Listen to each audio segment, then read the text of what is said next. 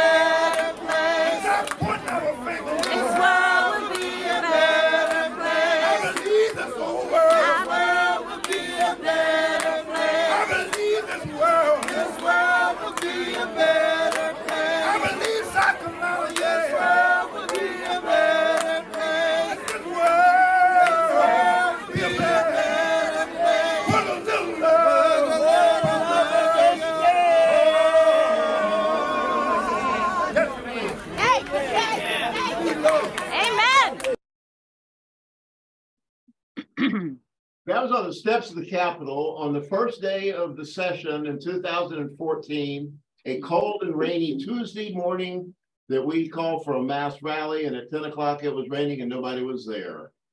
By, by noon, when they, when the legislature came together, we had a thousand people from around the state. And twenty-eight legislators came down the stairs to join us to excoriate Nikki Haley in the state of South Carolina for refusing to take our own tax money back to give a quarter of a million poor South Carolinians health care. That fight continues.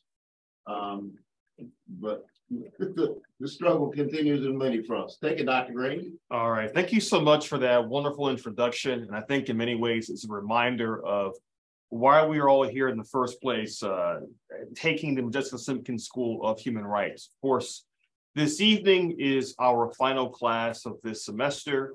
Uh, and I think as recent events in the news have shown, uh, the lessons of the Modjeska School are more, uh, never more timely than they are right now. You mentioned Nikki Haley, of course, now she's running for president of the United States. And according to her, when she was a child in the 1970s, everything was just fine. Everything was much simpler back then, both here in South Carolina and across the state, which would be news to, I think, the men and women in this room with us this evening. But uh, tonight, we're going to take a, a bit of a segue from talking about the history of this state and our country and tie it all together under the umbrella of so what? Uh, in academia, as historians, we often ask each other the question, so what? When we're researching a topic or writing a book or what have you. But I think for citizens and activists who are involved with the Modjeska School, the so what question is especially important. We've learned so much about the history of South Carolina, the nation in which we live, and the world in which we live. And the question becomes, what do you do with all this information? Uh, what kinds of programs and initiatives are available for you to get involved in uh, in order to help make this state a much better place? Now, there was a saying by a famous South Carolinian uh, centuries ago who once said that uh, South Carolina is too large, uh, too small to be a republic, but too large to be an insane asylum. Hopefully, after taking the Modjeska School, uh, we've all realized that while it is true we're too small to be a republic, we don't have to be an asylum either. We can instead be a place that actually genuinely cares about human rights, human dignity, and human freedom. And before we get into talking about some of the programs in which you can get involved in and some of the ideas that you may have in terms of uh, citizenship and involvement in South Carolina, I do have a very, very quick, hopefully shameless plug. Uh, just today, I received a contributor's copy of a book to which I wrote a chapter for called uh, Forging Freedom in W.E.B. Du Bois's Twilight Years. Um, I'll post the link. Thank you. All right. To, to give you a sense of how academia works, uh, the first draft of this chapter was written back in 2018. So that was pre-pandemic. And I'm just getting a copy of it now, but the book is coming out in July. I'll put a link in the chat and make sure one sent out at some point this week. But the book is actually quite relevant to our interest in this class. Um, it actually raises uh, significant questions about Du Bois's life um, and times. We tend to emphasize Du Bois in his earlier years and earlier career, but this book is about the last 30 years of his life, uh, when he is an avowed communist, uh, when he is really open in his radicalism. And in fact, my chapter is about the relationship between Dr. Du Bois and Dr. Martin Luther King Jr. And you're probably thinking, wait, they had a relationship? Well, keep in mind, Du Bois didn't pass away until 1963. And so he was alive long enough to observe and even critique um, some of Dr. King's ideas about civil disobedience and nonviolent protest, while at the same time providing some support for him. And as you may already know, Dr. King also spoke fondly of Dr. Du Bois. Uh, in fact, one of King's last major speeches in 1968 was a tribute to Dr. Du Bois on what would have been his 100th birthday. Um, again, I just put the link in the chat. I'll make sure to send it out to folks as well. And I think we may also arrange for my chapter to be sent out at some point too. So if you want to read that, you're more than welcome to. Okay, but enough about my own work. Let's get back to what we're really talking about this evening. Of course, you can see I'm wearing the uh, Modjeska Simpkins t-shirt uh, for the Modjeska Simpkins School of Human Rights. Uh, I made sure to wear it for two reasons. Number one, it's very hot. Um, so I wanted to wear something that was actually comfortable for one thing. But number two, I think the shirt really gets at what the school is all about. Uh, Ms. Simpkins herself was um, a knowledgeable reader and um, researcher of history. Uh, she knew many of the ideas and concepts we studied in this course. But for Ms. Simpkins, for Brett Bursey, for many others, it's not enough to simply know the history of South Carolina and the world. You also have to do something with that history. And that's what we're going to talk about this evening. What have we been working towards this entire semester, which began back in March? What is it about the Modjeska School that we hope you'll glean and learn from to become active citizens and active participants in the ongoing struggle for human rights and human dignity in South Carolina. So with that being said, uh, I want to turn the floor over briefly to Brett to talk about some of the programs that we're, we're going to be um, talking about. And I'll also chime in with a few ideas as well. And one program that is very near and dear to my heart as well.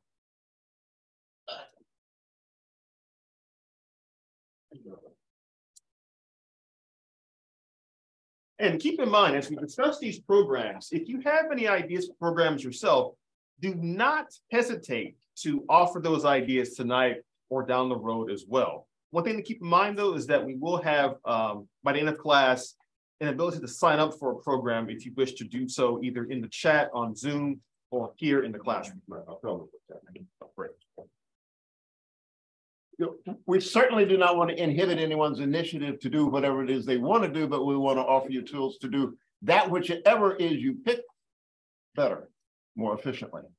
And there's a sign-in sheet that Betty's going to pass around that has uh, put your name so we know you're here, and you can write there one of the pro the projects that we're offering that are things that we've done literally over the decades that no one else has done and that which it is, gives us the, I think the, hmm, the seriousness and the staying power that uh, we hope will be here uh, when your children are running the show. And that is actually being able to have a good idea, analyze a problem, pose a solution, write a law, pass a law, and make people do it. And so we'll, I mean, looking firstly at say the Democracy 101 project, and that's D-E-M-O-C-R-A-S-C democracy uh, is a, um, it's been a, an introductory program. We're going to polish up over July. Um, I, may, I need to mention that, that we had a, a sign from above today about our need to step back and, and re, reorganize things. Uh, lightning hit the house and took out Becky's computer, which means that we can't communicate with you anymore until we do something about it. And so uh, this is an auspicious time in July for us to polish up some of the tools that we've had for some time now that uh, I'll mention just briefly with the beginning basis of the Democracy 101 project was following the money. Because if you don't know who who's where the money's coming from, you don't know whose interest it's serving. And this this is a society that's predicated on, on wealth materialism. So when you pay for something, who generally owns it? The people that pay for it. And in South Carolina, uh, over 80% of the money that comes in that funds the 170 legislator, legislators and the um, uh, nine people we send to DC, that money comes from corporations, large corporations that generally aren't even based here. And they have agendas. And they're the ones that pay for the supposed democracy that we have. 16% comes out of the people's pocket that are the, the candidates. And maybe two or 3% on a good day comes from people that make donations like us. I mean, we may not make much donations, but most people don't. And so that um, we have a database that we helped build that is tied into where we can actually, you know, use that the type of follow the money stuff to explain uh, whose finger is on making certain decisions. So the, the, the, we will give you, if you wanted to work on this program, we will give you a PowerPoint that you can be online. We can give it to you on a thumb drive and a, and a teacher's guide that goes with it. So you could talk to your church, club, school, civic organization, anybody that will put up with you and be able to talk about something that's relevant to them because you can tailor it to their neighborhood. And that the uh, the idea uh, is that, that it could be shaped for the length. This class has gotten way too long. Um, I don't know if you've noticed, but we've had 21 classes this year, counting the Sundays. And I think the first year we might have had eight or 10. And so we keep discovering new old history. It's fascinating once you start finding things that that happened that nobody knows about and you really want to share them with people. Like we now know who whose finger was on the the, the bomb that was dropped in Hiroshima and um, the, the, why the bomb plants in South Carolina and why we're all minimally minimally minimally adequately educated. It floats somebody's boat. But you need you need a short course that you can get in and convince people that they need to take a deeper dive. And once I think we get them paying a little bit more attention, they will realize that some of the things that they have, have been resistant to do, like participate in elections. That there's that we don't go around telling people vote, it's going to change your life. But you would be interested in working with the Missing Voter Project. Mr. Fox is going to be helping with that. He I have a few things to say here when I shut up. But the Missing Voter Project, we've been doing since 04, and it, like us, has matured and it's matured based on what we learn and what we discover about the way the system works. And what we know is that there are enough people that are registered that aren't voting to change the outcome of statewide elections. We also know that there's probably about 70, between 70 and 74% of the 170 seats. It doesn't matter what you do, you're not going to change the outcome of the elections. We also know that most votes in South Carolina don't count regardless of what we hear from the Democratic Party, regardless of what we hear from the League of Women Voters and all the televisions and all the rock the vote people, every vote counts, they don't. And so we know why they don't, and we can we put numbers by it. We're not making it up. This isn't subjective. So the missing voter project, again, is something that is driven from the work we've done that can give you uh, uh, a map of people in your precinct or on your street with their voting record.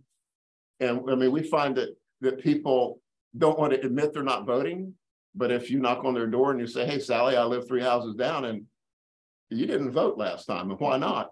And we're not encouraging them to vote for somebody that's going to win or lose, regardless of their voting. We're encouraging them to figure out, well, why is it that citizens don't have any power? Why do we have all these problems? And the reason is we don't have effective citizenship. And the reason we don't have effective citizenship is the people that run the game don't want us to have effective citizenship. And so the painful thing is we're going to have to tell people the truth. And so each one of these projects is predicated on that. With the Democracy 101 is a short course you can take out and show people. Um, and that the Missing Voter Project is a, a street level thing where you go out and knock on doors or make phone calls. We have numbers. The Racial Profiling Project is something that was is I think it's a real centerpiece of the work we did in terms of looking at a problem. When we founded the Progressive Network in 96, we, you know, some of us are coming out of the civil rights movement, and, and there was little doubt in our minds that racism was this heavy weight that's holding South Carolina back. But how do you deal with something that, as Modjeska said, was bred in the bone and can't be beat out of the flesh. We see that the Confederacy is something that colors the culture and the society and everything else. We decided, well, one, one way that you can actually codify it, quantify it, and look at it is criminal justice records. That stuff's written down. And so we did, I, I did the work and spent a whole long time, about a year, trying to analyze the impact, the, the, the inequities, uh, the, um, of the criminal justice system. And that we came up with a number that was very, very difficult to believe. I was afraid to tell our good friend and leader, Joe Neal, but it actually appears that about 10% of the entire Black population in South Carolina is arrested every year. And I mean, there's no industrial nation in the world that has a democracy that even has 0.01. America in general has 4%. We have the 25% of the world's pop, world's prison population and 5% of the world's population. And so there's a reason that we're so law and order oriented. And that reason is that Racism, What? capitalism, capitalism, and racism. yeah, that people don't have enough to live on in a society that's supposed to be the richest in the world. And that uh, it's pretty clear to somebody that they like steal a loaf of bread and, you know, uh, uh, uh, uh, pack of ham, they may go to jail, but if they can embezzle several billion dollars, they'll probably get uh, a slap on the wrist. So that the um, the the project in terms of racial profiling, we said, well, how can we do? How can we create something that would give people a tool that they could use wherever they live? And I wrote a bill that we introduced in 2000. This was after having this kind of classical step of here's the problem, analyze the problem, take the problem to the people, have town hall meetings, publicize it, get it on the radar screen, come up with a solution, write legislation, introduce it, and wait. And the waiting is a real important part for those of us that don't have enough power to make things happen right away. You prepare yourself to take advantage of opportunities. So when something comes along, like Donald Trump and crazy people, that's an opportunity. Are we prepared to take advantage of it? We'll see. But what happened with the racial profiling project, it was to for all cops to report all stops. And that we would just have them on a monthly basis report the race, gender, age of the people, location of people they stop and arrest or write a ticket to. And that um, didn't go anywhere. And then in 2006, the federal government said you're not getting more highway money unless you pass a racial, unless you pass a seatbelt bill, mandatory seatbelt bill. You've got to have it in 06. Mark Sanford, they passed it. The, the Republicans and Democrats got together because they want the billions of dollars in highway money for roads in their own counties. They passed the seatbelt bill. Mark Sanford vetoed it because being a good libertarian, he didn't think the government should get between his head and the windshield. And so the Republicans needed some black votes to override the vetoes. And they went to the caucus, and Joe Neal was running the caucus, and they said, "Well, what do you, what do you, what do you want?" They said, "We want our racial profiling bill." They said, "Okay." We said, "Hooray! We thought we won." They attached it to the seatbelt bill and went to conference committee because you have to always work out, polish the difference between a House version and a Senate version when you attach something to it. And five white guys changed a couple words in the bill to where not all cops report all stops, but all cops report warning tickets. So that was a disappointment, but you got to realize we write like 1.8 million warning tickets a year. And that just using the warning tickets is enough to gauge the propensity for racial profiling anywhere in South Carolina. There's 300 plus police agencies that have the power to stop somebody, turn a blue light on, stop somebody out of the car. Let me see some driver's license. And so they have to report once a month everybody they stop, everybody, anybody that's got the ability to stop somebody is supposed to turn that county's uh, report in. That's been happening since, I think it went online in 2007 at the Department of Public Safety. Go to Department of Public Safety, click on public contact reports, look up your county, and you can see by a monthly who's stopping whom. If you, you look at that, you'll go, oh my God, young black men should stay off of the University of South Carolina. There's like six, six times to be, you know, more likely to arrested. Mount Pleasant, home of Mark Sanford and, and a lot of Republicans, you're six times more likely to be stopped if you're a black Mount Pleasant than, a white person. This is organizing fodder for any town anywhere in South Carolina. We've all got at least two police agencies that are reporting. Nobody's monitoring that. We have great ideas, we put them out there and nobody's using the tools. But this is something that we wrote a book on, we'll update it. It would be a handbook. But I've actually been with people in the few places that we've done this, and you make an appointment and you look and you see how they're doing. And if they're doing good, you go and you thank them for it. And you say, well, would you support moving to have all cops report all stops as opposed to just the warning tickets? And the good cops say yes. And most of the good cops are the ones that are in charge. And most of the good cops know that the, the, biggest danger is people not trusting, and being afraid of them, and that community relationships and transparency is a protective measure for them. So this is this is something that gives you the entree to go and talk to people that are the cops with something that's constructed that they have to do, and you're checking up on it. And just kind of breaking that difficulty that people have walking up and talking to the chief of police or something, you know, going in and acting like a full-fledged effective citizen. It's something that we have to practice, and it takes a little work to do. But the the, the racial profiling thing has got, like I said, a database of over 300 cops in it that we made them do. Um, the monument project is something that is a, a, work in progress that can have a lot more work to do. And one of the things I'm going to say before I turn it over to Dr. Green, because this is something he wants to, to work on, that when we're talking about having workshops on one of these that you want to do, the workshops will announce towards the end of July when they are in August. And I'm going to be doing something that I've needed to do all along, especially since the pandemic happened and people are in Zoom land. I don't get to meet people. I don't get to know people. And I know for a fact that my success as an organizer and activist, part of what's kept me alive and effective, is, is meeting people and getting for them to understand what I think and me understand what they think. And that experience is the only way you build trust.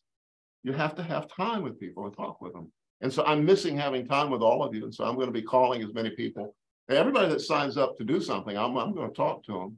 But you will have one of the one of our staff, which is me and Becky or Dr. Green, one of our board members or one of our past graduates that's actually doing this stuff. Omari's uh, co-chair of the C4, and he's done some of this stuff.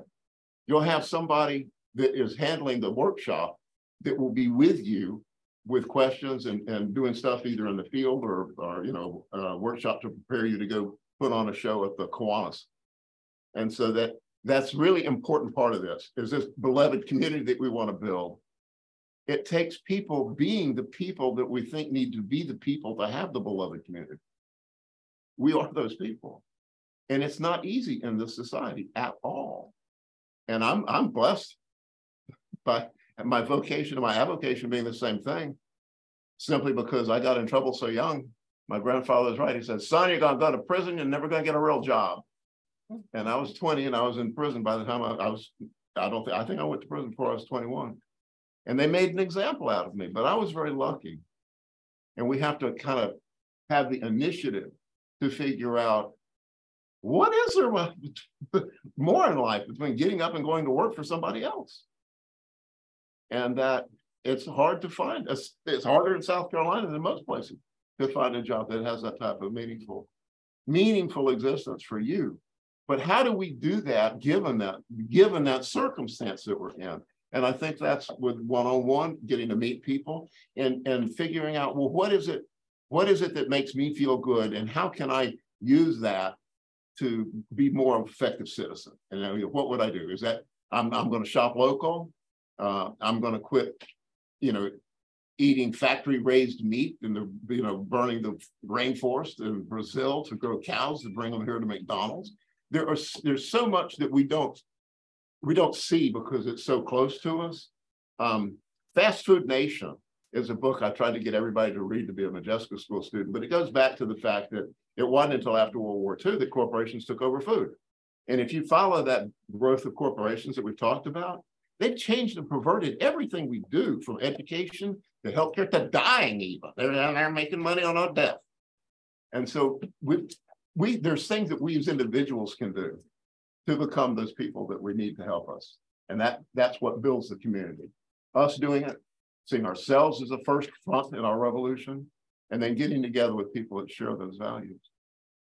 And the, the monument project is something that that could be done anywhere And there's a, like a growing list of, of monuments. And think of, think of it as not just Confederate monuments.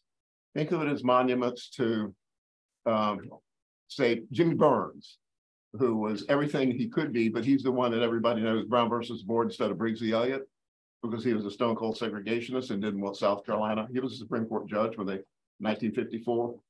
Roosevelt pulled him off the Supreme Court to manage the war budget. But there's, there's stories behind each one of the heroes of South Carolina. And there's stories behind in a lot of little towns across the state. And what is it that the memorialization is? It's to substantiate the status quo. It's to make heroes out of the people that wrote the laws and did the bills that make us who we are today. And so I'm going to turn it over to Dr. Green, who's going to be much more eloquent in talking about memorialization than I am.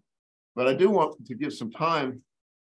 But let's see if there's any questions about anything that I've just run through before Dr. Green gets up here.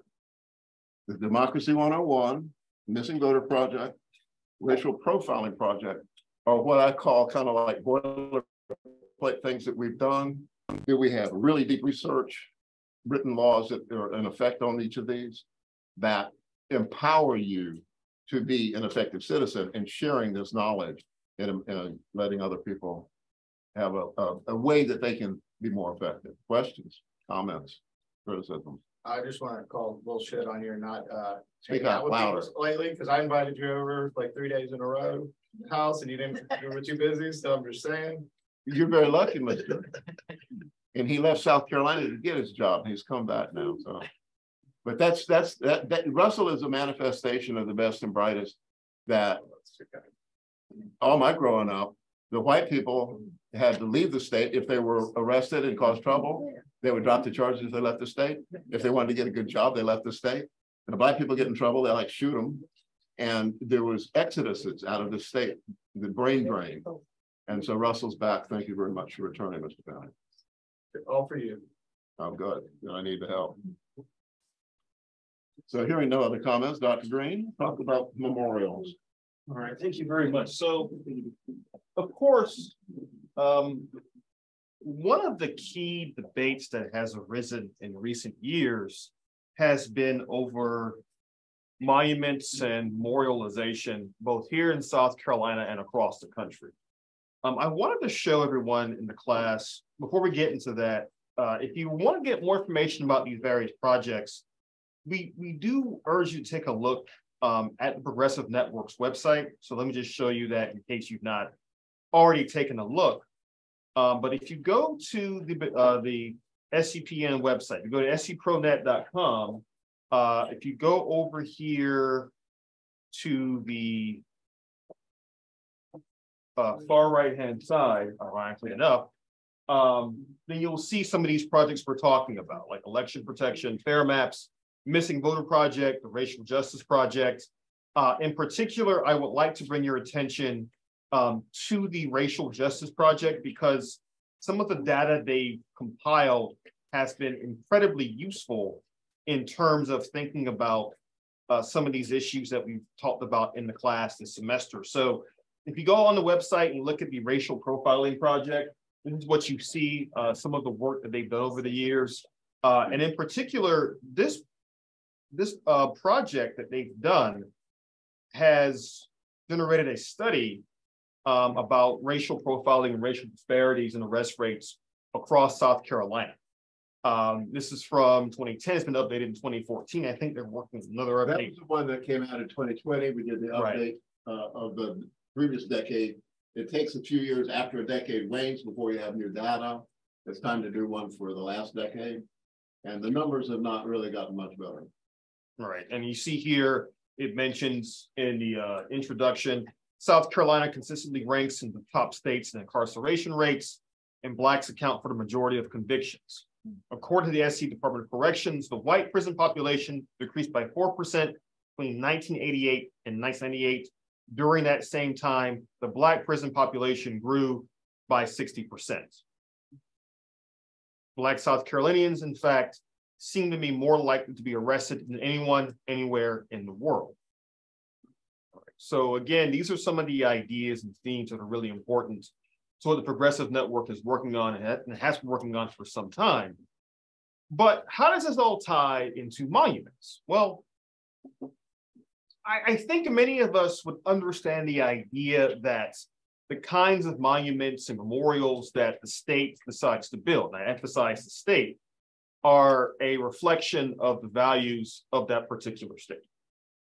And for those of you who have gone to the State House grounds right here in Columbia, South Carolina, uh, you may have noticed that there are a certain set of values being put forth by most of the monuments at the State House grounds. Now, how many folks, either by show of hands, virtually on Zoom or here in the room, have been to the State House grounds? Okay, quite a few. Okay, all right. Um, and I think it's it's fairly obvious that when you go to the State House grounds, it portrays a certain vision of the history of South Carolina. One that glamorizes and venerates folks like Ben Tillman, um, like James Byrnes, like Strom Thurmond, uh, many other individuals who we would not think of as being particularly savory characters in history. But these are the folks who have been memorialized time and again. Of course, in recent years, they have built an African American monument, which is conveniently the backside of the State House, um, away from all the other monuments. Um, but one of the things that we want to emphasize with the Monuments Project is we want to give people the tools with which to actually interpret these monuments and not just the standard boilerplate history of when the monuments went up, but also understanding and emphasizing why they were built in the first place. Now, let me give you an example of this. If you go to the website uh, run by Historic Columbia, it's a great website that actually shows you uh, what's on the State House grounds. Buildings and landscape on the left side over here, um, you look at uh, who's these, buildings named after, right? You have the John C. Calhoun State Office Building, the L. Marion Gressette Building, so on and so forth. On the right-hand side, you have people. Um, you have the Ben Tillman Monument, the George Washington Monument, James Byrnes, so on and so forth. Let's just choose the Ben Benjamin Ryan Tillman Monument in his full name. Now, of course, when you go to the State House grounds, this is one of the first monuments you see.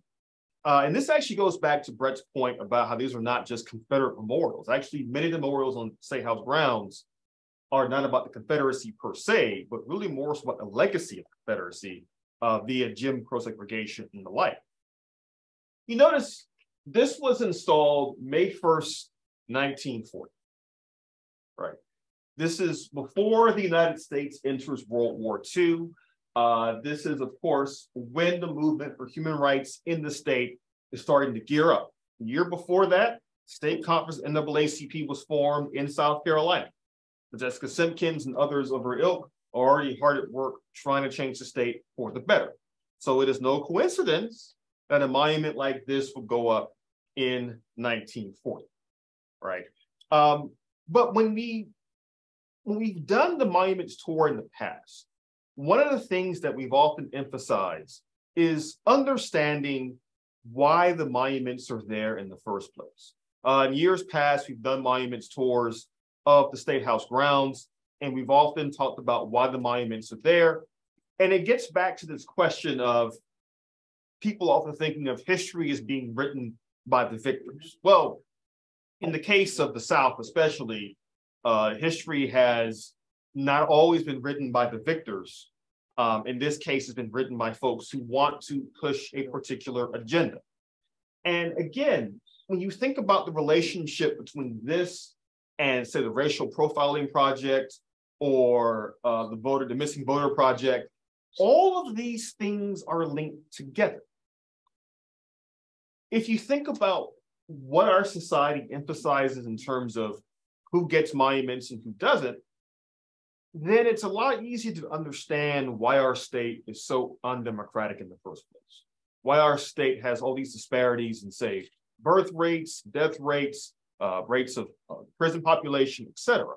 All of these things tied together. And the Monuments Project is designed to get folks, both within the progressive network and outside of it, to really think deeply and critically about how these individuals and memorials are honored on the State House grounds. And I, I think long term, one of the things I like to do is expand this to include the entire state, to think about memorials and monuments all across South Carolina. Uh, only today, in fact, was the official opening of the International African American Museum in Charleston, South Carolina, right? Which is, I think, a, a counterpoint to a lot of what's being done here. Um, but still, there is a lot of work left to be done. Just recently, and let me just unshare my screen and share it one more time, there has been talk to create some sort of memorial or tribute to Robert Smalls, the famed Civil War hero. Um, there's, there's, they're making May 13th of every year Robert Smalls Day, uh, but there's also talk in the State House of building an actual memorial to Robert Smalls on the State House grounds. Yes, go ahead. Who's they? Uh, both Republicans and Democrats in the state government. Um, this this article from the Post and Courier on June 3rd goes into greater detail here, but as you can see in the article, um, what you what you're starting to see is that, for example, Governor McMaster on May 15th signed a bill to commemorate Robert Smalls Day every May 13th. That commemorates the day Smalls reached the, the Union blockade on the, the ship Planter. Um, there are efforts to uh, commission a portrait of Robert Smalls in the Senate chamber. In the House, there's an effort to create a statue of Smalls on the State House grounds. It will be more, that explains it. Well, yeah, you know, he's he's um who's Small's great grand great great grandson. Uh, he is also heavily involved in these efforts. But I think even with this, there is an opportunity to think about how much they might leave out about Small's story, right? Because we emphasize the plants and all that, but what about after that? What is he doing during after Reconstruction? Right, go ahead. Well, I was going to mention that that time shrunk for me when I realized that Robert Smalls was died in Beaufort. He he he had some functionary job after he was in the legislature uh, in, in U.S. Congress, but he died when Modjeska was 15. And I spent all this time with Modjeska, and she spent time with this guy. It's like, whoa, that just like closed the gap between me and the Civil War. And that when you think about that, we seem to be raised at a time when all this was way in the past and things have really changed. Like, excuse me, it was just a minute ago. And this this country, if you travel, especially to other places in the world where they uh, uh, parts of Europe where they have hotels that were built a thousand years ago. This is frontierland. It's still frontierland. And the type of uh, pushiness that, that brought you manifest destiny and, and the only, you know, and the dead Indians being the only good ones uh, is still, uh, that blood pumps strongly in a lot of MAGA people and people that run this country. We can lift up the monuments. One, one more thing about the monuments is that I didn't know uh, until a few years ago that the delegation from South Carolina in the 1840s that went to help fight the Mexicans about taking their land, the driving force of that was they they could go live there. Mexico invited people to come live in what was New Mexico and Colorado and parts of this huge chunk of the West that Mexico owned. Mexico was an anti-slavery state. So the whole effort, and there's a monument to Travis on, on the grounds at the State House, that effort was to throw Mexico out of their own country so they can have slavery. I didn't, but, but Well, and to that point, one of the things about the Monuments Project that's really important is that there's a whole section of State House that is devoted to military history of South Carolina. Um, in particular, I took a, a tour. I just walked around the State House grounds a few weeks ago by myself. Uh, and one of the interesting monuments is there is or was um one, but there are various weapons on on the State House grounds, other things. There's actually an artifact that was there from the Spanish American War that was actually taken during World War II and melted down for the war effort. That's actually memorialized on the grounds. But to Brett's point, uh, one of the things about the the State House that is also really important is that it has things like the Palmetto Regiment Memorial, um, which Brett was kind of referring to there, uh, which is one of the country's few monuments in the Mexican-American War. That's actually a war that we don't really talk a whole lot about, partly because when it was fought, it was actually deeply unpopular in parts of the country. And generations afterward, Americans like Ulysses S. Grant actually argued that the American Civil War was God's punishment for the Mexican War in the first Wow. place. Uh, he in his memoirs, he actually writes that. He actually says that the basically the American War against Mexico, where it was fought on false pretenses, where it was fought to take millions of acres of land in part to expand slavery, he argued that the consequence of that was a civil war, and it was God's judgment that we had a civil war that killed so many Americans. Um, a war on false pretenses. That never happened after that, but I digress. Uh, Omari, I know you, your hand's been up in the back. Did you want to say something as well? Yeah, just as a historian, how do you, how do you feel about the monument standing or being taken down? Just where, what's your position?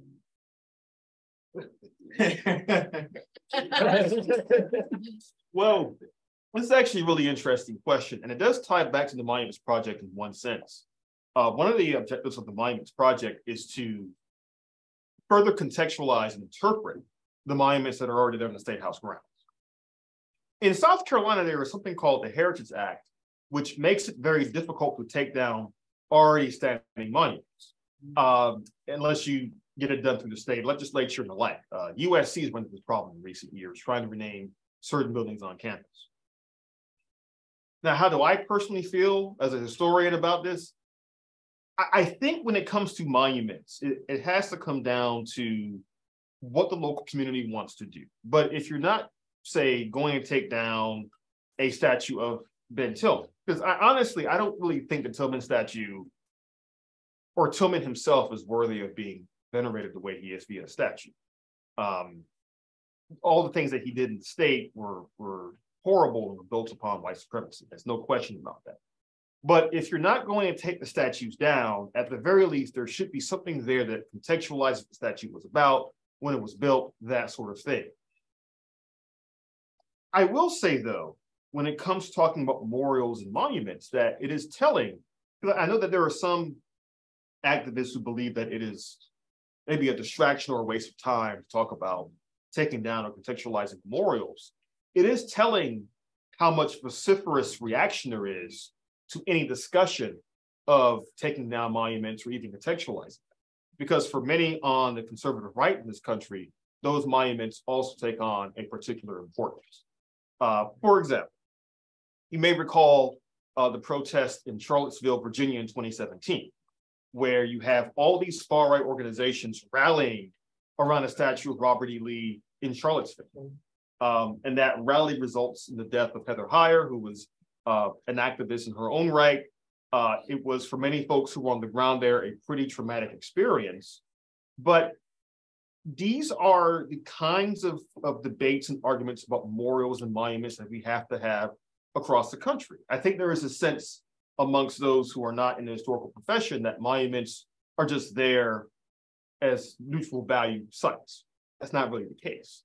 Uh, every statue to Robert E. Lee or every statue to a Stonewall Jackson or to a Ben Tillman or to a James Byrnes represents the particular values of the men and women who wanted that statue put up in the first place. Or to put it another way, to give you a short answer to your question, if I've spent too much time talking about it. A few years ago, I was a part of a discussion at the Columbia Museum of Art downtown here in Columbia about monuments. And it featured a film about monuments in Russia, the former Soviet Union. And there they've had contentious debates about what do you do with monuments from, say, the Soviet era or before that, the imperial era. You know, do you take them down, do you contextualize them, et cetera? And we compare and contrast those debates with those happening in the US, in particular the American South, when it comes to Confederate memorials. And an older woman in the audience asked a question about, well, if you take down Confederate memorials, then aren't you trying to erase history? My response was actually quite simple. If memorials are meant to be used to tell history, then where are the memorials to Black soldiers in the Civil War in South Carolina? You know, we should have, there should be a first volunteer statue at the State House grounds looking right at a Confederate memorial and saying that not every South Carolinian was pro-secessionist. I even pointed out there were over 100,000 white men from the South who fought for the Union Army. Where are their memorials? Um, I, I, wrote a piece a few years ago arguing that one possible solution to this question may very well be to build memorials to other individuals like Modjeska Simpkins or to other activists across the South and across the country. Um, because again, if you're going to make the case that monuments are teaching history, which in a way they are, to the public at least, then you have to be more specific about what that history actually means. If you want to have a statue of Ben Tillman up, that's fine. Just talk about what he actually did before and during his, his era and reign as governor and senator from South Carolina. If you're going to have a statue to say Mexican War, then explain why abolitionists like Frederick Douglass and Ralph Waldo Emerson were so opposed to that war. So to answer your question, as a historian, I have to say it's complicated, but I also think that there are some opportunities here for us to explain to the public that memorials and monuments aren't just history, they are history being told via a certain narrative by a certain group of people.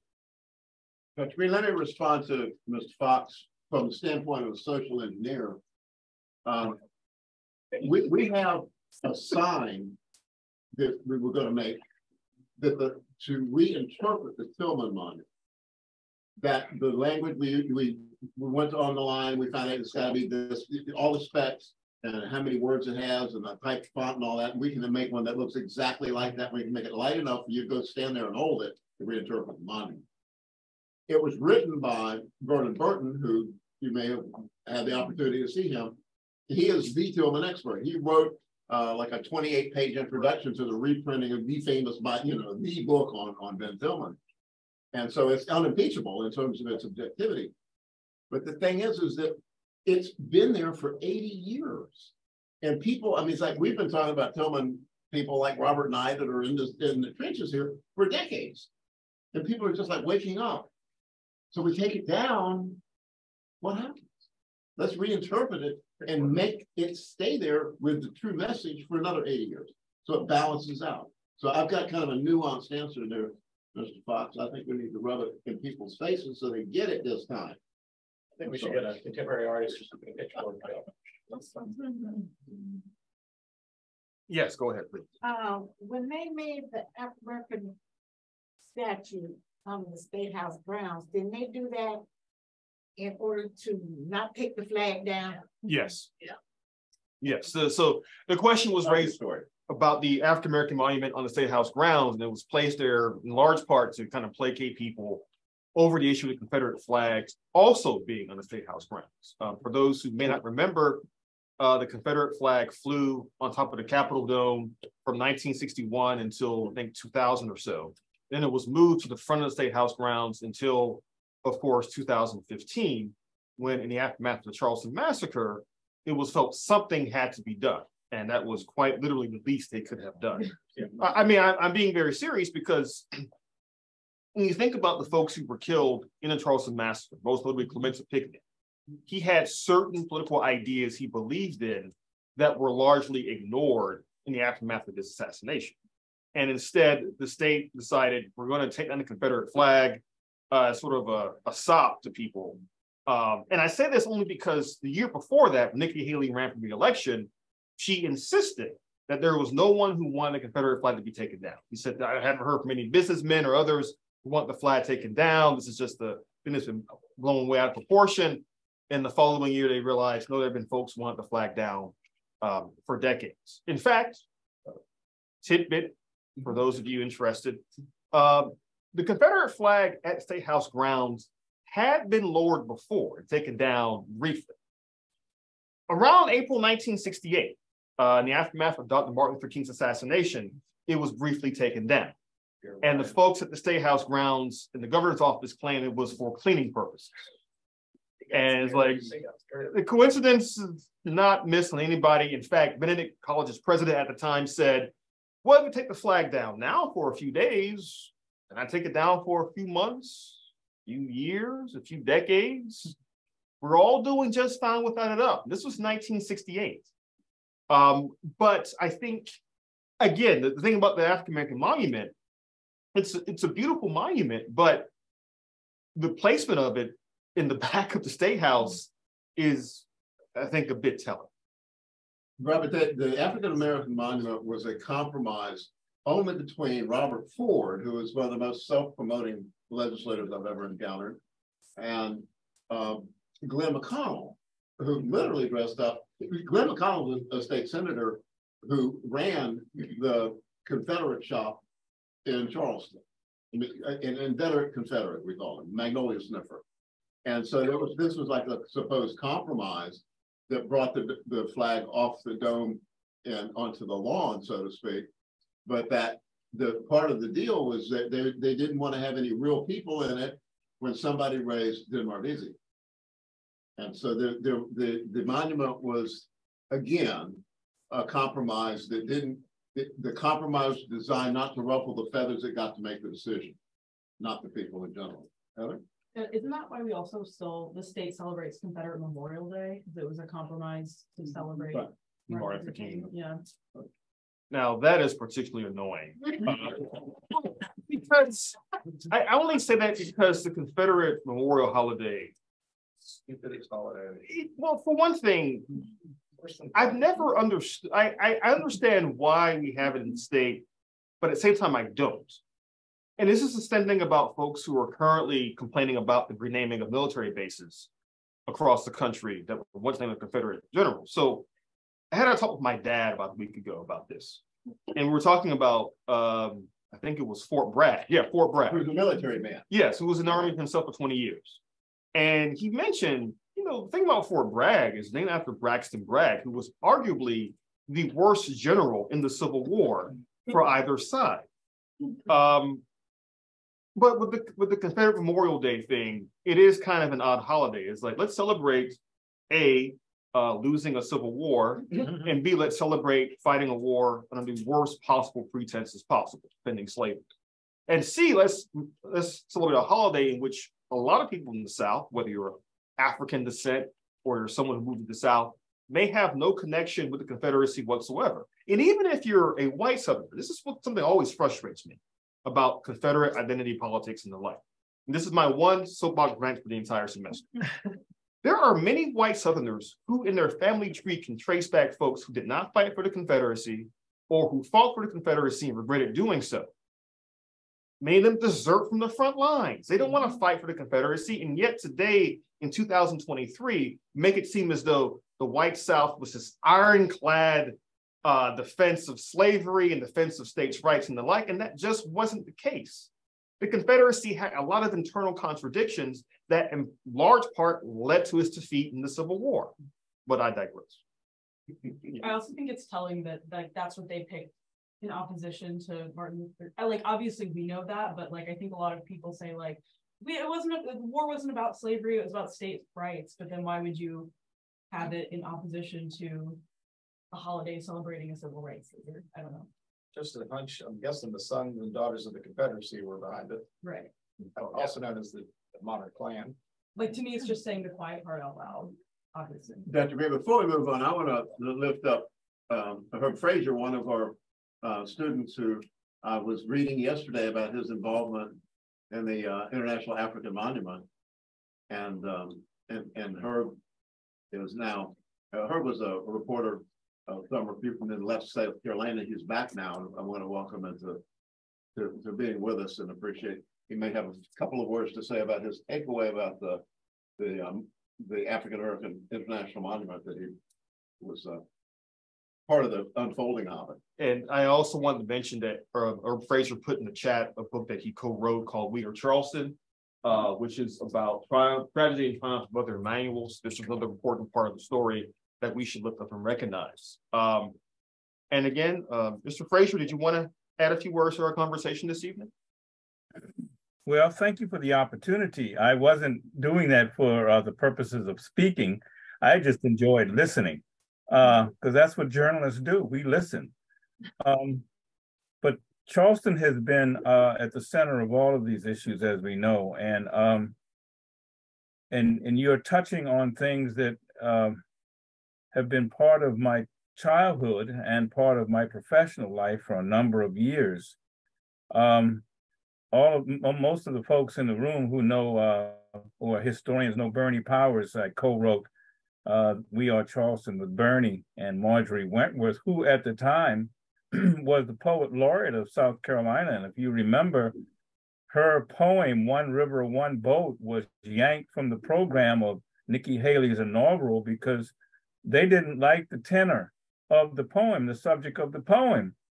And and so, you know, we have this long history of of, of, of, of the power structure in South Carolina, as we know, denying that big elephant in the room, and that is causing so many people uh, to lose benefits. You mentioned two hundred and fifty thousand dollars.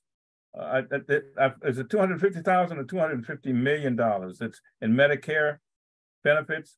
One point four billion or two point four billion. It's two hundred fifty thousand people. People, yeah. Yeah, that's the number. Okay, people who, who who are not getting the health care access that they need. Uh, so I I will be in touch with you guys because I've been taking notes to the for the past what 16 weeks now. oh. Oh. Yeah, and I see a lot of stories uh, that I'd like to do in the coming uh, weeks, uh, and to localize them to Charleston and and try to bring this message to the to, to the readers of the Charleston City paper. So thank you for this opportunity. Herb, that is precisely why I've, I've worked so hard to get you into this class. I'm going to tell people that Herb said, you can't teach me anything about Black history. I said, Herb, it isn't about Black history. And he's still here 16 weeks later. Thank you, my brother. Thank you, Brett. And we will feed. We Let will me say one other thing. We will you know, when you were when you were uh, protesting on the campus of the University of South Carolina, I was there. and uh, I, I participated in some of those things, but I, I didn't get arrested. So I don't know why um, why I didn't get arrested. I'm still scratching my head over that. It's not too late, Herb. It's not too late. All right, but I, I think that's a good way for us to think about the Monuments Project and, and why, again, it's not just about the monuments in the State House grounds. We can kind of expand our ideas of that, but this is a long-term project. And Becky, did you want to add to that as well? Yeah, I'm I'm really so glad um, that you're talking about this, Robert, and um, everybody, because it's one of the things that I think is one of the richest potential projects that we have going that a lot of the stuff that we have is very database driven and not everybody is like data wonks. Um, but I think that this has um, got a lot of potential. Let me show you some that we did. I think we started this in 2018 before right. the pandemic, and we had a couple of tours. Let me show you some pictures, and they were led by the Modjeska School graduates. And it was a, a harder. I thought it would be a pretty easy kind of um, gig to create because it's a self-contained thing. We were just going to focus on the State House grounds and it's very rich material just right there, right? Reinterpreting the monuments, why they were there, who these people are, um, and just putting some meat on those very cold bones. And and this the students were really up for it. It become it became just logistically really hard because what they decided to do was to parse each monument that they focused on to a different person so that they did their own research and came up with their own scripts and they were wonderful but some of them were very academic and some of them were kind of snarky and it was just kind of all over the map and i think that what we could focus on is trying to take those things and make them more unified and be i'm so glad you brought up the historic columbia stuff robert because they're doing really good work but it is very surface and it has to be because of their funding and the politics involved. They're just you know there's only so much they can do right um, and and I think that they're doing a really good job. But there is so much ground that we could offer that is not that right. And as you're suggesting that it doesn't have to just be the State House grounds or even Columbia, um, that it could be you know we could focus on different communities or different cities or different whatever. That's that that's what's really exciting to me because I think there it's got a lot of potential that you could really export this to anybody that really is interested in, in working on this and you can create these inner what we were talking about never quite got to before the pandemic hit was creating these in more interactive tours that people could um, that we could create an app that people could go on their own and listen to stuff that they, they wouldn't have to be guided by one of us that they could do some self-guided tours. There could be some things on the websites that they could drill down as deep as they wanted to do. And i just think it's a really um, let me just show you some photos from that thing. It was really really kind of cool I can figure out how to share screen. Just a few.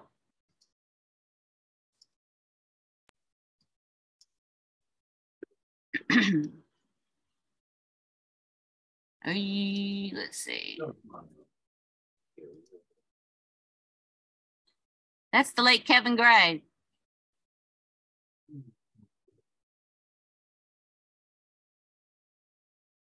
So some of these happened during the daytime and some of them were um, like after work. Some of them were on weekends. Um, but it was a really, really engaging thing.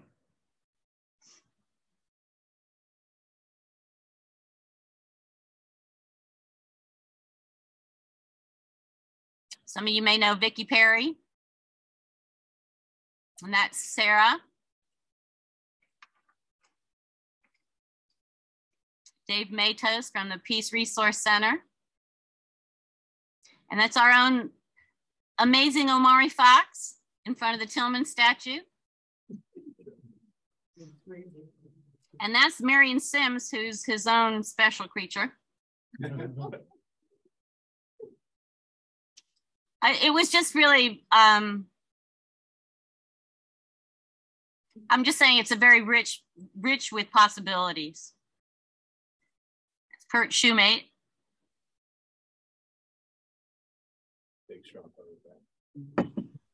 Martin?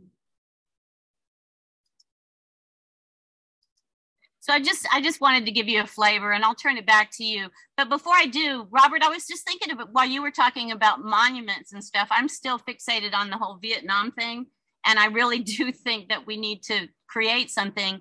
And I'm wondering if we could be able to, I'm just throwing something out there. If anybody's interested in doing something um, on that, um, get in touch with me because I think we should do something on next to um, the Vietnam Memorial that he that Robert mentioned in that class too.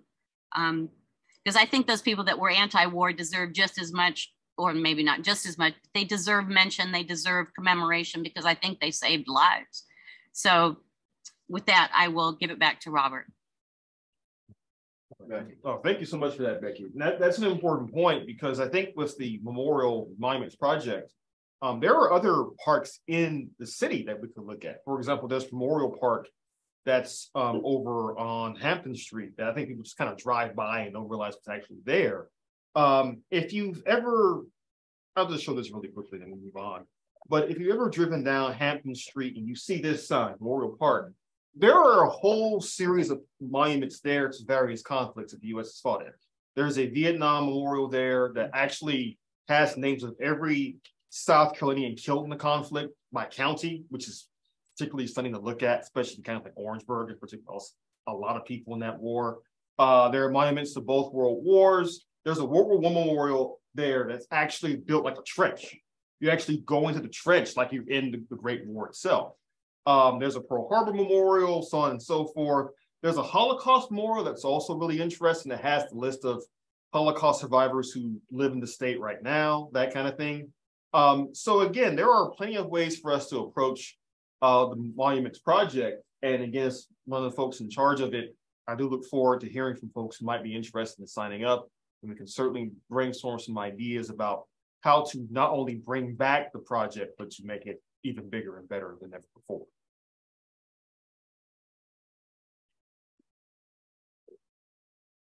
Any questions at all?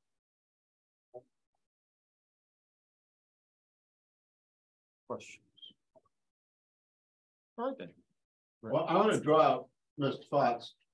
Amari does genuine grassroots organizing in communities that we're not plugged into. Amari, say something that you're doing, Amari's now working uh, in Savannah and because we don't have money to be able to support him. But he's spending time here and has developed what he called a barbershop talk that has a whole cadre of people but it, it's reaching people that we're not reaching. And I want Omar to say a few words about that to see if somebody wanted to pitch in and help you with some of the stuff you're doing, Omar. And if you want, you can come up to the front and, and talk. Come on, let's talk. Um, Be loud. so, so I'm on low energy like probably many of us. Um, so I was a community organizer in North Columbia and um, the ultimate goal of the organizing is that it would be a blue zone. So long longevity in life. Um, in that particular community, high violence, uh, minimal supermarkets, maybe two, um, access to healthcare, things like that. So, uh, partnered with two barbershops, one on a corner at Elmwood and North Main. right I'm there. like, excuse me, people are saying they can't hear you, like, come close to one of mic. The little things right there, the point. That one points it that way. No, you stay there, you're, come on. See. Um, Talking to that one. Mike check, can you hear me? Becky's clapping. So, um, long story short, because of all the challenges and the zip code. Um, every month we invite different kinds of resource providers or just people from the community, faith leaders, um, folks like that. I want to shout out one of my colleagues from uh, Mutual Aid, um, Midlands in the room. Um, it's a, a group, we're still, we're still active, but very, a little bit more active at the start of the pandemic. And um, Dr. Billings came out to one of the, Dr. Debbie Billings came out to uh, one of the gatherings. So there's 10 chairs in the middle, each kind of panelist or expert or community person sits in the center, everybody fish balls around it. Each person kind of gives their spiel on what they see, challenges or solutions. Brett made the chair at one of the last ones. And then um, if we can, we try to have some level of crosstalk, but that mostly happens at the end. And then uh, I just try to really funnel all of the people to do the gap filling. So we're a progressive network and we do focus on inactive registered voters. and then I'm working with somebody who's trying to tap into that particular base and we can partner. If There's the, the health provider person and they got excess X amount of funding to try to identify people in under, you know, whatever um, research they might be looking for. So long story short is to build a power map of the kind of the key players from the community, whether they're uh, just a grassroots person, neighborhood leader, or former resource provider. And um, the theme is that violence is integral. So it's not always gun violence, but forces that act on your health, forces that act on eviction, um, you know, things of that nature. Um, so it's called Cut Out the Violence. So cut out the violence like haircut, barbershop peace talks. And um, we're planning our next one will be sometime in uh, July.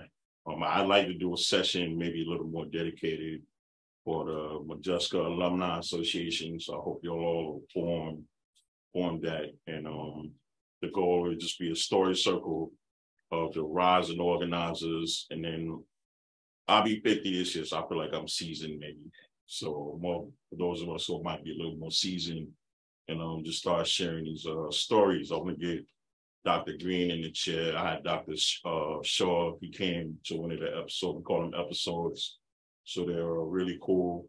and then everybody plugs everybody into what else they're doing. So basically everybody who came in the chair is looking for organizers or volunteers or what have you in different capacities. So um yeah, and then I want to shout out uh Dr. Green anyway, not on the barbershop, but we had like he did a guest episode for us um with one of my art groups, just talking about the Royal experiment and kind of the black South Carolina that we don't always talk about.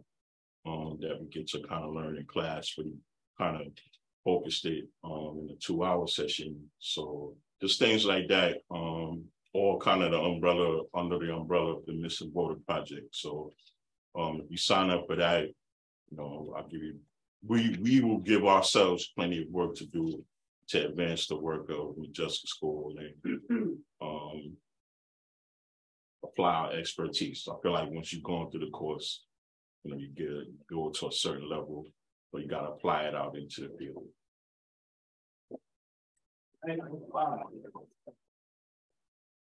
Hard to get him to talk, but when he does, it makes sense. He was great of that. Great facilitator. No, He, he really is. And I, I think the work that Amari has done and continues to do is really integral to fostering a sense of small d democracy across South Carolina, because you need those kinds of grassroots conversations. I, I think if no other reason, then one of the key lessons of this entire session this semester has been the idea that there are plenty of folks in this state, white and black, who are poor, working class, etc., who are just never heard from. They are ignored by the political elite in this state. They are uh, ignored by the elite in this state, period. And they deserve a voice at the table. In fact, they deserve the entire table themselves.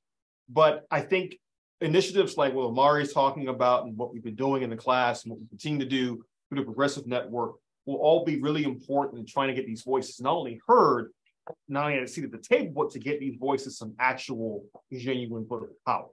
And that, at the end of the day, is what this is all about. Okay, so um, any other questions anything else you wanted to add to that, Brett, at all? No, Dr. Green, I want to call out people on the screen there to Uh-oh. make sure they're real people up there. And people that we've been seeing their names along, like, like Miss Sunday, I have no idea who's behind that thing. And, and there's, is that Keith Gray showing his face now? And Keith could talk about, Keith, we had, this is something, yeah, I'm gonna drop, put you on the spot. In two thousand, the South Carolina Progressive Network individual membership started the, the Progressive Caucus of the Democratic Party. We had one progressive caucus that could kick ass and control the floor. What happened, Eve? And what can we do about it? Well, it kind of regenerated after Bernie's campaign. There was a lot of energy and passion. Uh, but as you well know, they they put a you know There's- halter and bit in our mouth, Yeah, and uh, so we couldn't endorse candidates. We couldn't. There was a, a lot of us were pushing for a progressive platform that the South Carolina candidates had to at least some outright support some of it, at least some of it. Well, you know, you can tell how far that got with Cunningham and before him, Smith, and before him, Sheheen. So, well, Keith, I was, I was kind of more interested in focusing on the fact that when there was one progressive caucus, we could get something done. And when we pulled out in two thousand fourteen, it was after we embarrassed them a number of times by controlling the floor over their wishes. And so they wrote bylaws to create caucuses when we were the only one. Mm-hmm. There's now fifteen caucus that fight amongst themselves and get nothing done. Mm-hmm. And so I'm encouraging you and others that have had the will and the discipline to become delegates to the state convention mm-hmm. to be pulling together one big caucus. You're all on the same team, pulling on the same end of the rope to get something done. And I'm bringing this up because this is something that I would think it's an odious task, but I watched the Republicans have the discipline to take over the Republican Executive Committee in 1990 something when they then took the, the 90 the 1992 election resulted in the, the, the Christian coalition taking over the the government, the governor and the, the the House. They took the Senate in the next election, and it was simply because they had people that had the discipline to go to their precinct meetings, the county convention, to the state convention, become the executive committee, and take over the party. I don't want the party. I want the people in the party. But this is something I'm hoping some younger people can get some idea that it's not we're there to save the party, we're there to rescue the people that think it's going to lead them to the promised land. Uh, this is what I've been preaching since 2015, 2016. Thank you, sir, for your time and your effort. It's, it's one of the one of the true leading liberals in Lancaster. Okay, so uh, There are more people. Call out. Make them say something. I, I, I mean, I, Call them out. I, I'm not call their names. Who, who's gonna say? it? Marjorie? You always have word of wisdom. You can find your unmute button. No, actually, um, before we go to Marjorie, I see Annette's hand is raised. You want to say something, Annette?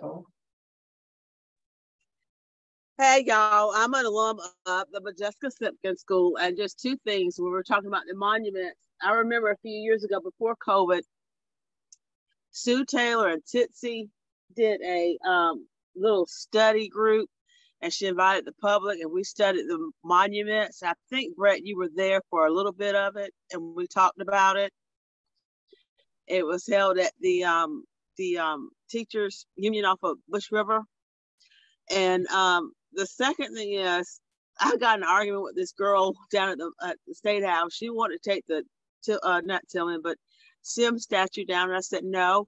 What I am pushing for with our NOW group, and I'm president of Columbia Now, National Organization for Women, is to have the three mothers that are known to us that Sims experimented on. He also experimented on children, but I want something next to that statue discussing or having the mother's names, they call them the mother of modern gynecology, on that statue because he did some experiments on mostly black enslaved women and um, black enslaved children. Well, Ned, you just volunteered for the new monument project. Thank you. And we'll make, a we'll make a monument looking sign and you can take turns in your peeps holding it there by the Sims thing. People, Marion Sims is known as the father of gynecology, cold-blooded, cold-blooded. He, he did experiments on women of color with no anesthesia. By the way, Brett, there is another monument to him, but it's not pleasant. It's in Alabama. And it really describes for who he was, a murderer. I, yeah, I think there was one in Washington, I think they dug up and threw away. Thank you, ma'am. Uh, Becky, I see Brett, you're- his name was on a. This is Joyce Argo. His name was on a building in Lancaster County, the J. Marion Sims building, and they removed his name a couple of years ago from that building. I'm not sure what the name of the building is now, but there was. Where was Where that? was? Where? Yes, ma'am. In Lancaster, South Carolina. Okay, Um, Chief, I see your hand is raised again. Go ahead. Yes, I can respond to that. Uh, there, there was a charitable foundation that was spun off of the sale of our hospital here in Lancaster, and it was called the Marion Sims Foundation. And as things got a little heated about Sims' actual history, uh, about mm, three to four years ago, they changed the name and it's now the Arras Foundation. They don't have any connection with Sims anymore. And there are some buildings, but there's still, yeah, there's still one thing on the side of a building on across from our historic courthouse that mentions Sims, unfortunately.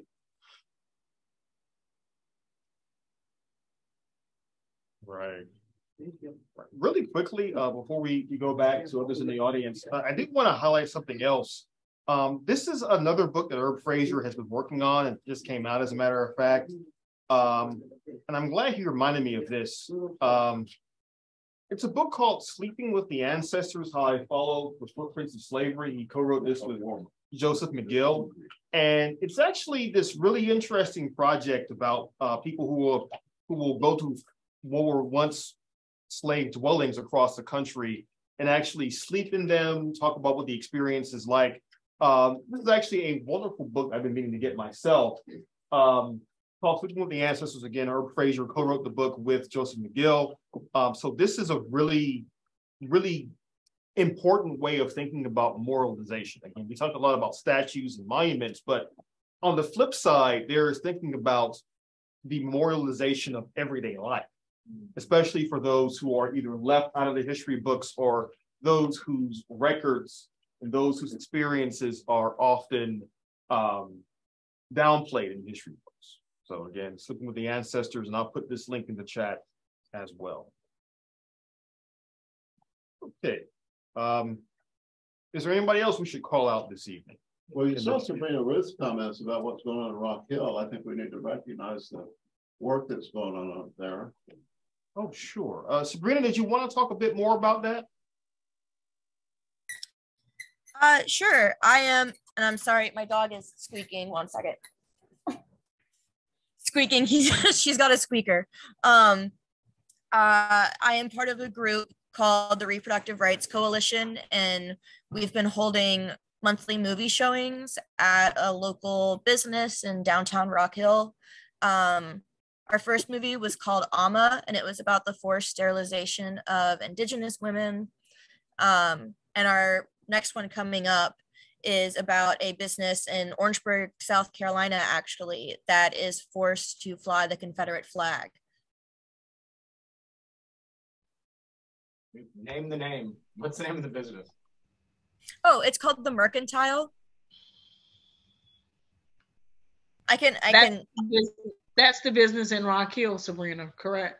yes. And I, um, I typed the name of it into the chat. M E R C A N T I L E. There's a Facebook event that I can share in the chat if that would, if anyone's interested with the date and information. Right ahead, please. Yeah, and the um the film that she was referring to about Orangeburg is called Meltdown in Dixie. Um, there is a a shop there where the the owners of it actually don't want to flag Confederate flag, but they, they're not really given a choice in the matter. It's um yeah, it's the Edisto River Creamery and Kitchen. Um, so again, here is the I'll just share the website for that that piece um as well um really quickly. But yeah, this is again a reminder of how I'm glad to hear from folks in the chat because what it's showing this evening is that there is a lot of important work being done all across the state on a grassroots level that often doesn't get the attention it deserves. And I think this is a great time. If anyone else in the in, in on Zoom land or anyone else in here is trying to do some local initiatives or local projects, please let us know so we can spread the word for that as well. Um, Dr. Green, I was going to say the little, um, excuse me, the little ice cream shop in Orangeburg used to be owned by the late Maurice Bessinger. And he actually uh, gifted the Sons of the Confederate that little piece of plot on his land when he owned that building. And so that is how the flag got there. And um, yeah, and so the little Edisville place is stuck with that flag. It can't be taken down. And Maurice's son, even after his death, uh, did some work to try to help them to take the flag down, but um, it couldn't be taken down.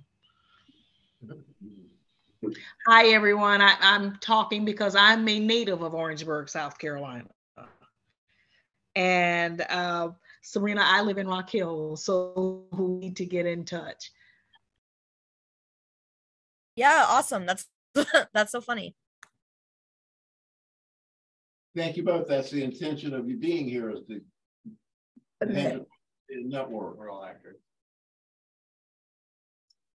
Can I just interject while I can? Um, that the I think that as much as we'd like you to work on our projects, that um, there, as has been mentioned, there's a lot of good work going on around the state, and so I think what we'd ask you to do is to figure out what really speaks to you, what's yanking your chain, and then try to find an organization that's doing that work and either volunteer or support them financially or however you can um, and if nobody's doing that work, then then try to do that yourself if it really means something to do you and, and to you, and we'll try to help you however that we can. But again, there's like Annette is working with now. She's a, a graduate of the progressive uh, of the Modjeska School, and she revived the the moribund um, the Now chapter. There's a, a, there's a resurgence of death penalty work. That's something that's near to dear to my heart and Brett's as well.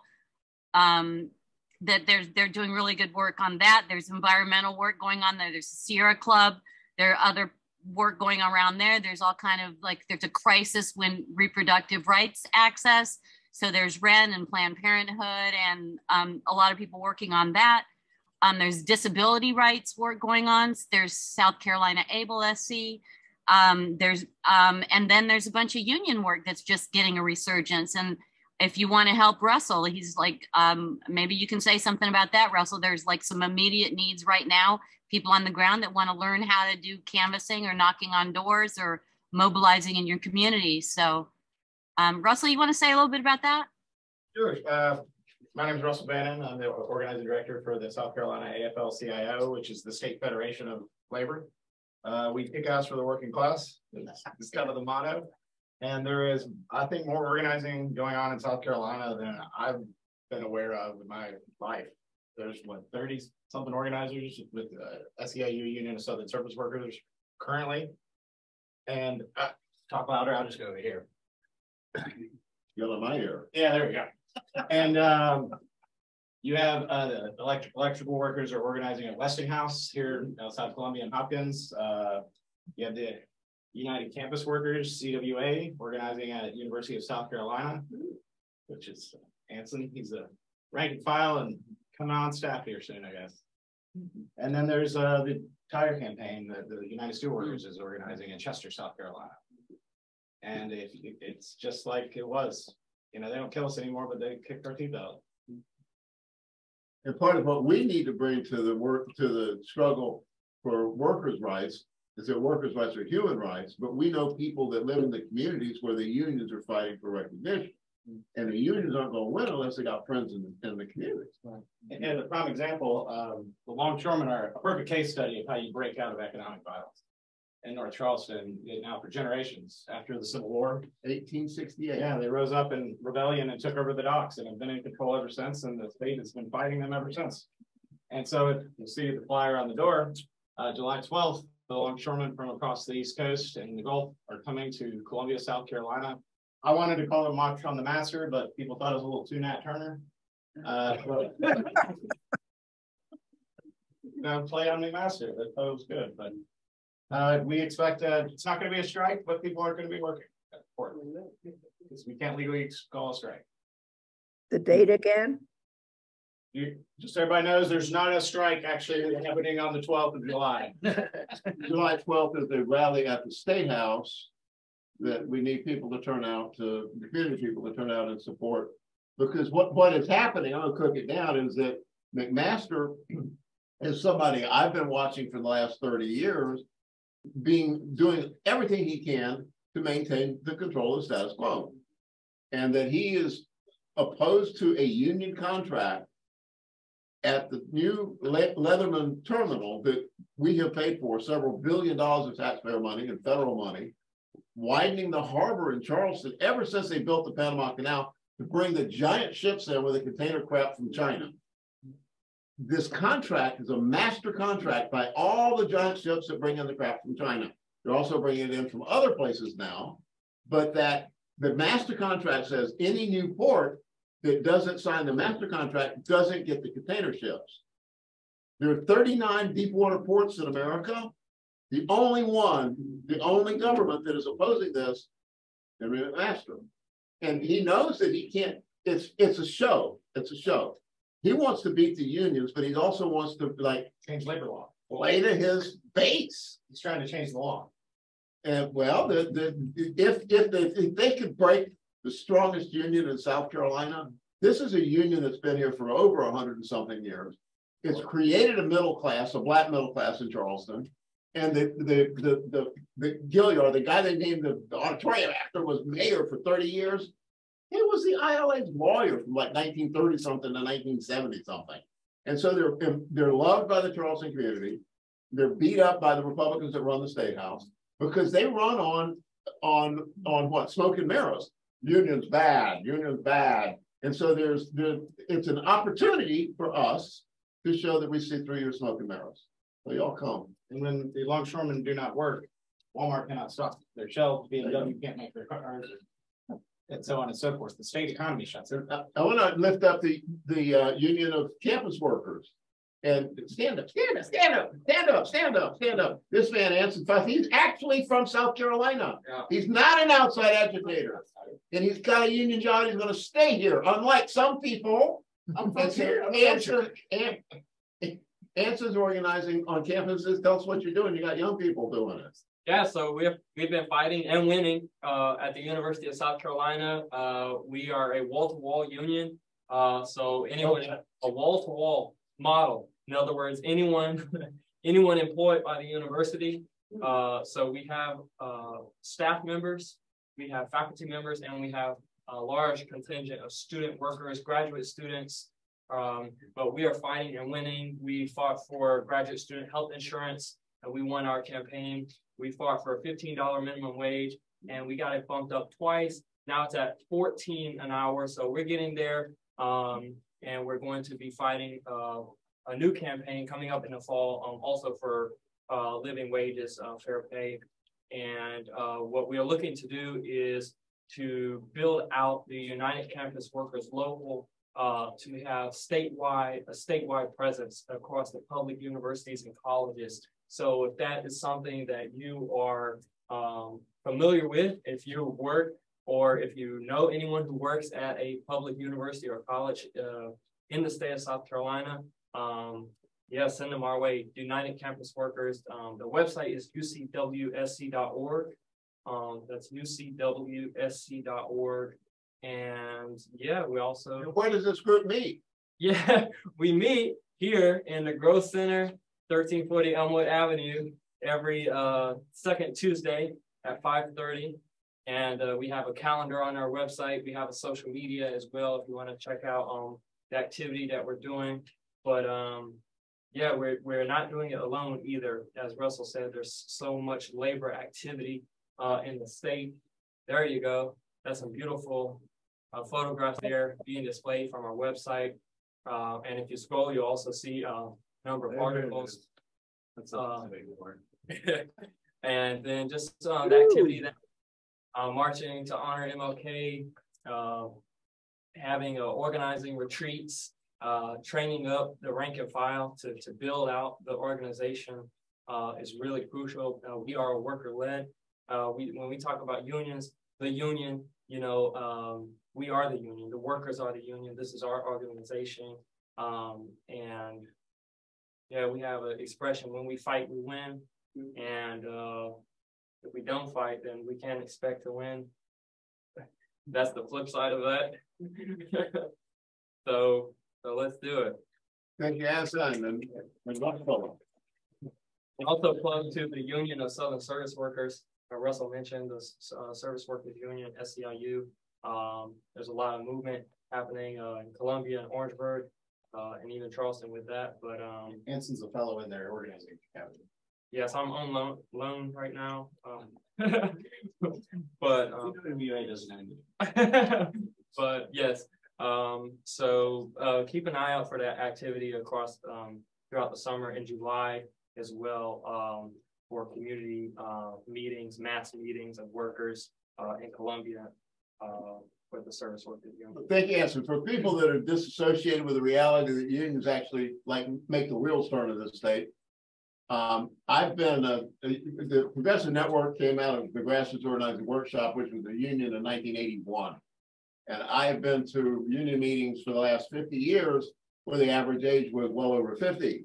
And I'm absolutely thrilled that there are meetings in this room right here with young people. The average age is maybe 23. And it's like, wow. It's very different, three different organizing. It's a very good thing. Have, yeah, IBW's meets here. Union of Southern Service Well, we're Workers. talking about the others. Yeah, they're young. Now, I did see uh, Denise had her hand up earlier. I'm not sure if she's on the call right now, but while we wait for her to come back, uh, Cecil, I see your hand is raised. Go ahead, please. Hi, everybody. Um, I'm really grateful to be here. Uh, I said at the recent board meeting that I may be at the uh, maybe the greenest leaf on the activist branch, but I really treasure the opportunities the school's providing me to mature into someone effective in their citizenship and activism. Um, you know, since joining, uh, I've had opportunity to help get the window replaced back in August, uh, take some training for the missing voter project and election protection, um, learning so much during Black History Month with video offerings, you know, before the classes start up. And then Brett got me started on a new database engine for print media. And Kyle, what a nice guy, man. He introduced me to every action. And then Brett gave me some uh, some little work to do concerning that ILA thing with the Leatherman terminal. Um, you know, what I really I'm looking for now. I mean, that is so much, and I feel like I'm I'm dipping my fingers in a hundred places, and something's going to rise to the surface like cream that I am really attracted to.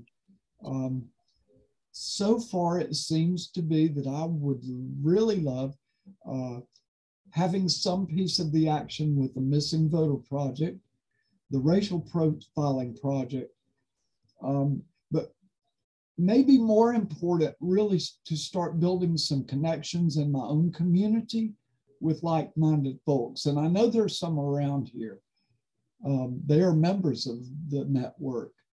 Um, but I think the biggest part that's come to me through the classes is being exposed to a side of the history that I was never taught. And this has been exciting. And I have to, sometimes it's been pretty damn depressing. And I got a problem. I have an appointment with you tomorrow at. Uh, so, at least, you know, one thing I, I learned recently, which I think is pretty important, um, is that no matter who's on the other side of the political aisle from me, it's important to find that sweet spot with them, to be aware where we can agree on one issue or another, because that helps open the door for an extended dialogue. We have to talk to the people we're trying to change. Talk one on one. And, and that doesn't happen, you know, in a classroom, y'all. And, and I, that's what I'm learning. That's what y'all are teaching me. And I'm, uh, I'm grateful for that learning. And, you know, and the school has also kind of shown me that I can't come at people with a with an us versus them attitude you know, and the school has been giving me a willingness to listen with an open mind. And all of our speakers during classes have demonstrated that. And, you know, and I need to be able to consistently respond with respect. And I saw all of that during the classes and at the recent board meeting, too. You know, they even called me Mr., which I hate. you know, I believe that I can, as a member of the network and taking these classes, make a contribution of some, maybe a little greater value today than just you know, was possible a year ago. And I really have a lot more uh, that I want to learn from you. So thank you for having been there in the past and staying the course today so that I can benefit. Um, I guess I'm really interested at this point. I mentioned a couple of things. Um, what Ms. Roof talked about with her documentary showings, that has immense appeal for me. Uh, you know, my wife's a theater major, and and I think setting up some some local viewings to engender conversation would be an awesome awesome thing. Um, so I want to thank you. I want to put put put a pin in it for you to put the committees that you want to be on in the chat and get other people to do the same thing because we could save the chat and get the right people to get in touch with you. Sure. And I really appreciate yeah, I'm happy to do that. You know, I'm also really interested in supporting efforts to create publications, especially the ones that would go in our public schools and, and uh, school libraries or, or, public libraries generally. Um, and with whatever spare time I might muster, I'd like to start looking at the monuments here in Anderson County uh, that are really begging for interpretation. And so, because I'm, I just think I need to thank Dr. Green, Brett, Becky, Mr. Frazier, Mr. Gray, Mr. Durfner, all the speakers, every student for everything that you've all been giving. You know, when I was uh, working at Columbia, uh, the Capitol newsstands, you know, we carried the point and all these progressive things. It was a great place to begin learning. Um, and I spent a lot of money on books there. Well, now I've I've been spending the money again on books, which is a nice change. Um, so I have a list from tonight to start working on too. Um, finally, I'm really, really looking forward to being with all of you at graduation. Uh, but I'm massively grateful that technology kind of helps us connect with each other, you know, to help us all work to achieve some change. Um, sleeping with the ancestors, Herb, thank you for that. I appreciate that. Thank you, That's all. You're welcome. I, I want to call out uh, Kathleen Campy, who's uh, one of the numerous unsung heroes, certainly, of um, a, a, woman in Greenville. They're, they're rare uh, that Kathleen uh, stepped up and served time in the legislature and continues to be a voice for progress and stuck us out. Kathleen, if you're there, you can if you can say a few words. If there she is, say something. Uh, I, have mainly been listening. I, I was um, there in the state house when um, Brett was um, organizing the Progressive Network. I was a victim of the Christian Coalition. Um, Liz Patterson and I all got voted out of office at the same time. Um, Bob Inglis went around um, campaigning. Now, of course, he's seen the light on climate change, but he didn't at the time. Mainly involved in environmental issues. And do want to share one thought I had when we were talking about memorials. Cesar Chavez has always been one of my heroes, and I grew up um, boycotting lettuce and grapes in, in, Arizona for years in support of the farm workers. Um, and we were hiking in a state park in California, and I was very pleased to find some um, acknowledgement of Cesar Chavez's work in, in Southern California in that state park. However, all the plaques and information were at the back of a rather remote parking lot in the park. so position is important. The other thought I had on Memorial that I want to share is that the um, and I don't know if it was intentional or not, but um, there are very few memorials to women. And in the city of Greenville, what um, women have started to do is put their money, um, often um, surviving their husbands, and taking that money and um, memorializing their work. Um, and we have many parks and, and monuments now in Greenville to women, but they were initiated by women and funded by women. Um, and it is hard for a city or local government to turn down an impressive statue or park or fountain or something if, if there's money associated with it. So just passing that on. Keep up the good work, Brett. I did also want to say and you had said several times during this program how reaching a certain age and backing out and and there was no age limit to taking this course but maybe there should have been because i'm like you trying to find the replacement for the causes i believe in and and glad to see that young people are stepping up at least in the area of union organizing but environmental organizations, we're all old. And um, it, we, you know, it is hard to find the, the um, replacement for our causes.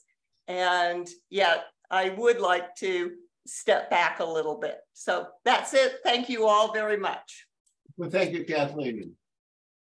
If, if you let us know the monuments there, I think we can like you know, do some promotional work to try and raise some younger people to pick up the torch from you. I don't want to quit. I just want somebody that's faster than I am to take the torch from me. Yeah.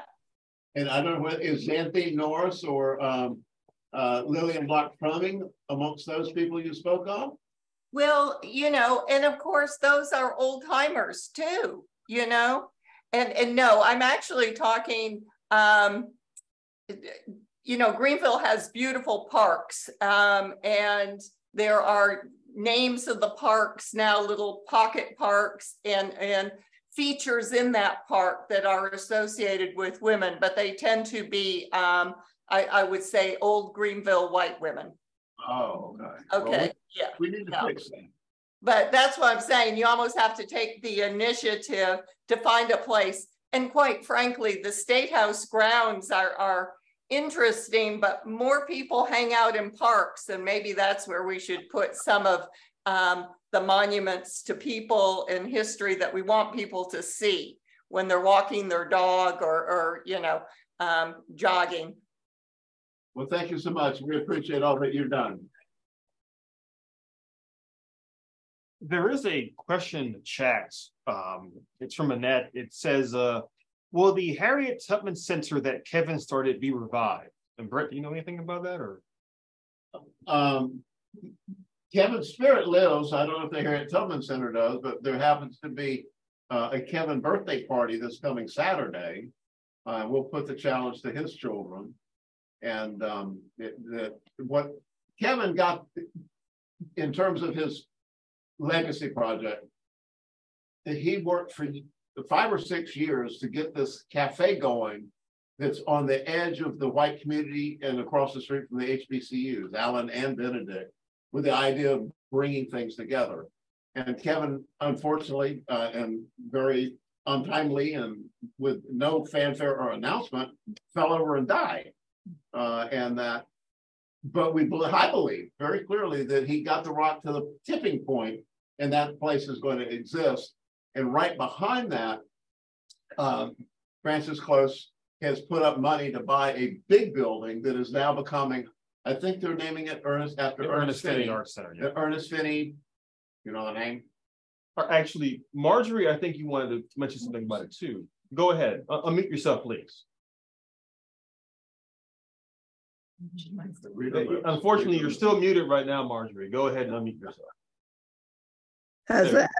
Yes. Can you hear me? Okay, I'm on that board with, and Nikky Finney is our chair. And, and, and Kevin and, and, and Ms. Close uh, have been a part of the leadership of the development of this cultural artist center. We've had a few activities, but we're still in the developmental stage, but we're gonna be big deal. Yeah, it is. And So we are, and again, on Saturday, of course, we'll be celebrating his birthday. And, um, but also it, it- it- along with his family, of course. Yeah, that's eleven, I believe, four at that place right behind the Railroad Barbecue at the corner of Hampton and Harden. And so the question was the Harriet Tubman thing going forward. Kevin had a lot of good ideas and they're all there and we'll see which ones go forward, but um, This one has gone forward. but that's not the Harriet Tubman. This is the Nick, the Ernest Finney. Finney, exactly. And, and Kevin's um, Railroad Barbecue is right in front of that. Mhm. It has a, an amazing uh, amount of photographs and posters and whatnot, many of, many of which we printed uh, when we were working with Kevin over the fifty years we had a relationship. Remember, we've got a little more time and I want to see if I can make Dan Lackey say something. Dan is a reclusive person who's kind of given up on humanity. And the fact that he actually uh, stayed with it and has come to some of our, a number of our um, programs has given me hope for humanity. And so Dan, I don't know if you're still out there, but I really appreciate you being there. Dan is another person who was a reporter in South Carolina that disappeared for a long time and then came back. There he is. Yes, uh, this is a slightly younger version of myself. Um, let me see here. Uh, I'd like to thank the uh, Progressive Network for just existing, and I'm uh, in my septuagenarian years uh, looking for a cause, and uh, it's been very gratifying to be able to sit in on most of these meetings. Um, I was always afraid. I hope you didn't call on me the other night uh, I've listened to most of these talks. Uh, I've been occupied all day, and I, I found out that at age, even though I'm still healthy, that I have to take a nap sometime during the day. Uh, when I taught for 30 years, I never got angry at students who fell asleep because I knew that's a poignant condition. You you don't want to. I only fell asleep during one meeting because I, I attended all the classes mostly in a horizontal position, listening to my laptop. If I, the one time I fell asleep, uh, Dr. Green, it was not for your being boring, but the fact that I was so intensely hanging on your every word, I was, I had one point focus, which helped me go to sleep. So uh, this has been tremendously uh, uh, inspiring, even by Zoom. Um, and I'm glad to have been able to attend um, the uh, MLK movie, uh, the documentary. Uh, the only time I've been at the uh, at the Grow Center, except for the one time I met, uh, I was very happy to meet Brett personally. Uh, just a hello to my old colleague Herb Frazier. I don't know if you remember me from the state. I was there one year, but hello, and thank you very much for calling on me. Dan, I expect to see you this coming Saturday for the graduation from four o'clock. We're gonna have dinner afterwards. You're close enough to walk, so you have no excuse. Herb has to drive up from Columbia, from Charleston. So I want to just put a bug in everybody's ear that's still with us. That we need we need to like pressure flesh. Please bring it here on Saturday. And we've got to deal with a, a hotel right around the corner for $109 a night. Nice place, Fairfield Inn and Suites. And so please Come let us see you. I'll try to make it. All right, again, and that's uh, the graduation ceremony this Saturday, July 1st, uh, starting at four o'clock. Then dinner will start after that around six or so. Um, of course, there are in in-person options for graduation, but also Zoom. But we really appreciate it if you can make it down for graduation in person. Uh, please do so. And um, I think I'll just finish up class with this. Um, this has been my, I think, fifth year now doing the Modjeska Simpkins School of Human Rights. And every year I've had the chance to not only teach people, but to learn from the students as well. And I think what I've learned this particular semester is that there are a lot of people in this state doing some great and exemplary work in the cause of social justice and human rights. And tonight we heard some snippets of that but we want to encourage folks, uh, if you've not already done so, to let us know which project you'd like to be uh, interested in or get involved in, or if you have your own ideas, please let us know. Um, as you've learned this semester, there is a lot of work for each and every one of us to do. And I think we've seen in the news this year, in the politics of the last few years, living in the age of, of COVID, war in Europe, climate change, uh, racial justice at home and abroad, there is a lot of work for all of us to do. The good news is that I think each and every one of us has the tools necessary to do that work. So I want to thank all of you for being students in the Modjeska Simpkins School of Human Rights this year and for teaching me what it means to be a true citizen of South Carolina, not just living here, but actually making a difference here too. Thank you. Thank you, Robert Drinking.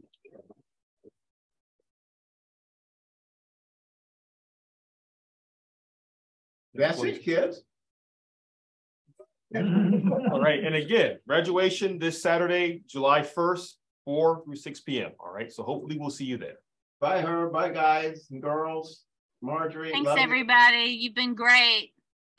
Thank you. It ain't over. It ain't over. It's just beginning. well done.